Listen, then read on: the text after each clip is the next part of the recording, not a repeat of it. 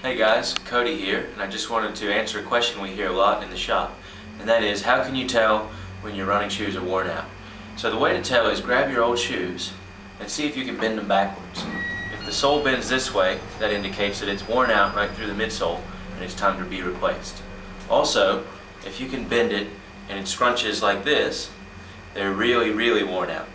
And finally, so I encourage you once a month, grab your shoes, and if they can do the T-towel, that means that your shoes really need to be replaced.